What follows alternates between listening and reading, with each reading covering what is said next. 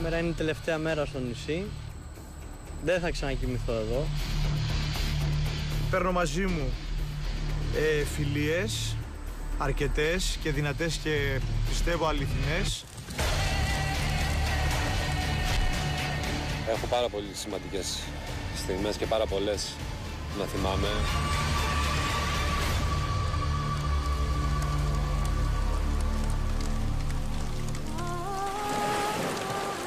Θα μου λείψει από το νησί πάρα πολύ σίγουρα αυτή η παρέα, αυτές οι διαμάχες.